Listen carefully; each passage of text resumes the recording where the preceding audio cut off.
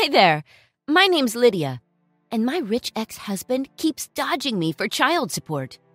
I had to sneak into his house to make him pay. A few years ago, I had to file for divorce against my husband of four years. We met in high school, and like many high school romances, I thought ours would last a lifetime. But like many high school romances, I quickly found out that not everyone gets that kind of happy ending. So, as much as I tried for it not to happen, I had to raise my baby without Thomas. I did what I could with what little skills I had. I wanted to give Eris the best life the world could offer, but unfortunately, it didn't pan out that way.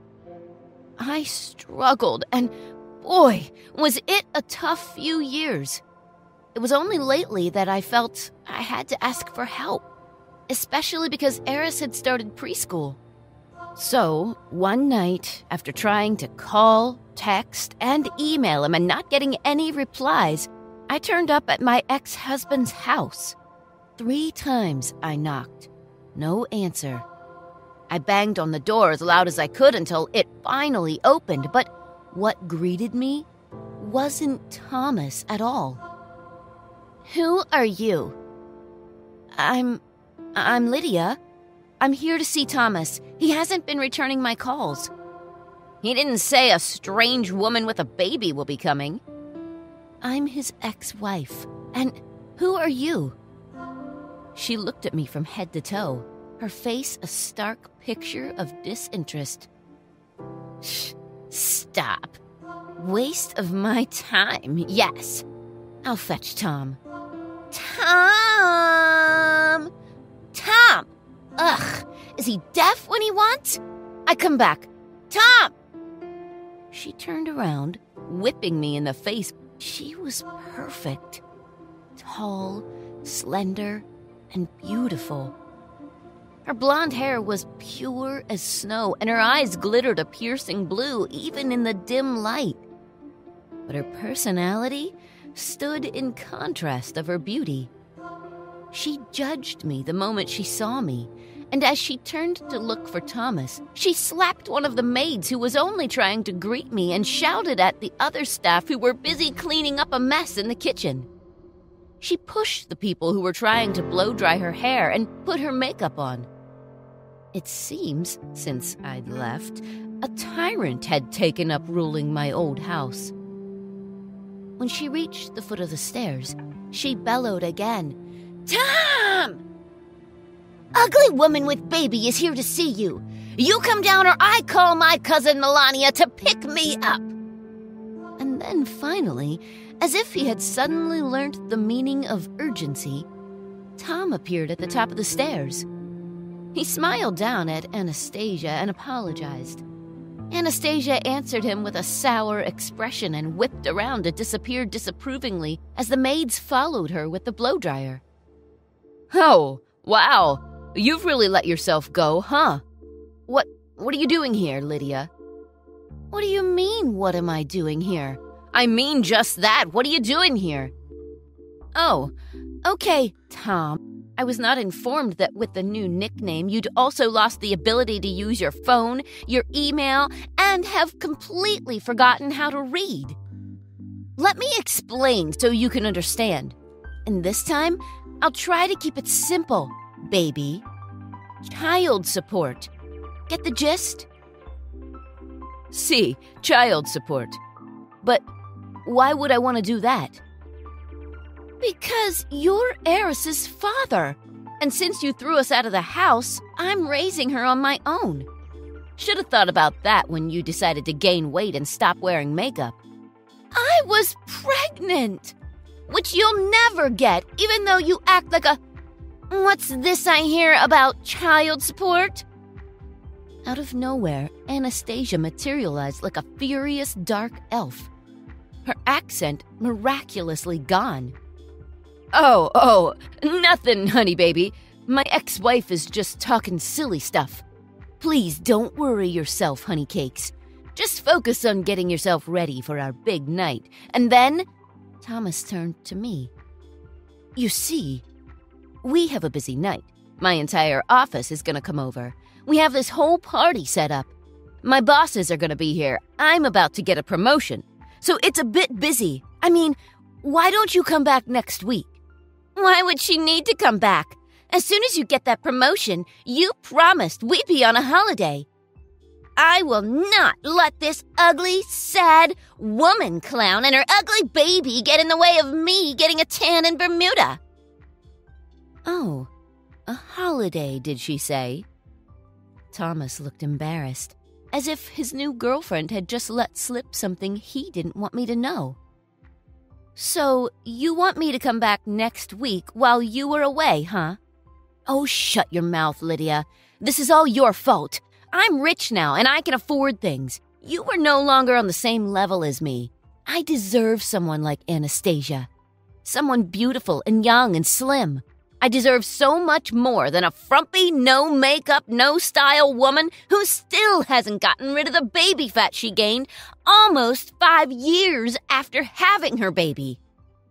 A baby you don't even acknowledge, and who I've had to raise on my own I may be cleaning people's houses for a living just to survive, but it's nothing compared to cleaning houses. Tom, did your ugly ex wife just say she's a maid?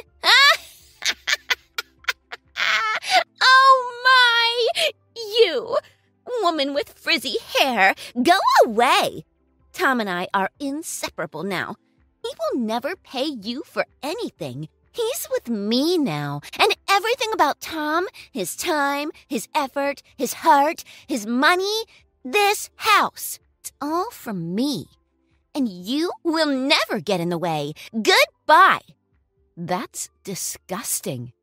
Tom looked at me as if I'd just said something horrible. Seriously, Lydia? Cleaning houses? How gross.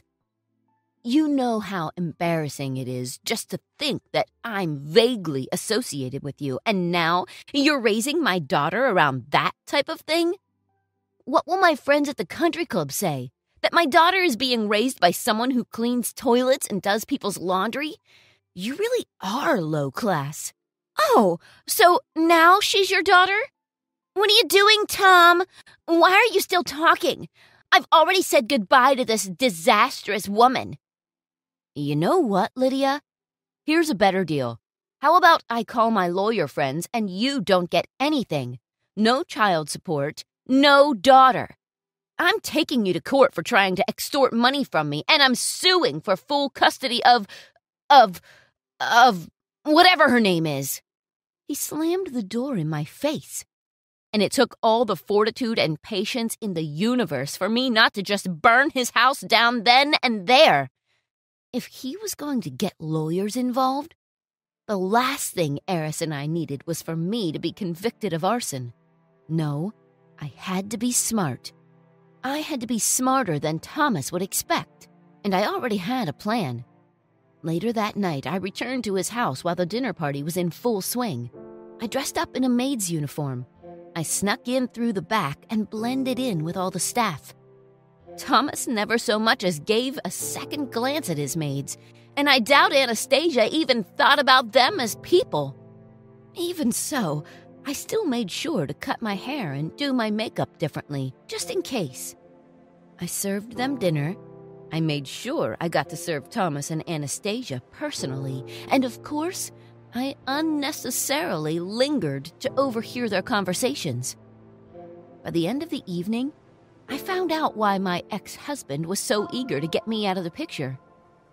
I would like to thank all of you guys for coming, and to our bosses, I appreciate the value you put in me. Thank you for this promotion. I won't let you down, and thanks to this new position and the boss's generosity, I can work remotely. So now, I'd like to get my other announcement. Anastasia and I are getting married at the end of the month, and we're moving to Europe where we'll start a wonderful life with our daughter, Eris. Applause erupted in the room. He was congratulated by everyone. I almost broke the tray I was holding in half. I calmly made my way back to the kitchen.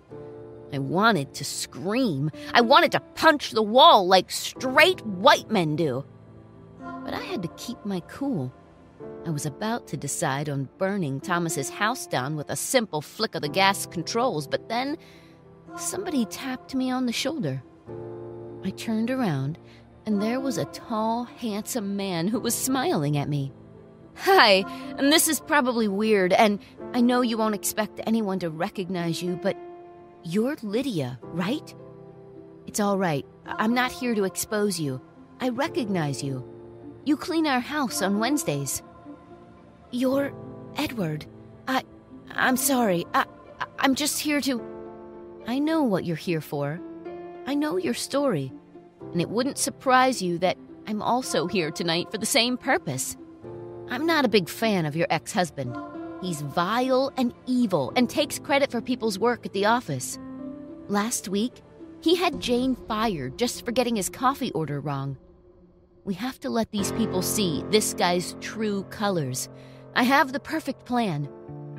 It was much sweeter, much more satisfying lacing Anastasia and Thomas's drinks with truth serum after having heard what they were planning.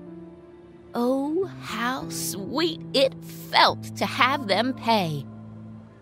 They started talking gibberish, and then they became more out of it as the night wore on.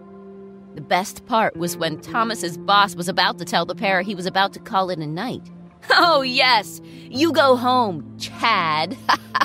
Who even has a name like Chad? Oh, by the way, Chad, everyone in the office knows you wear a wig. then Anastasia embraced Thomas's boss, causing his wig to fall off.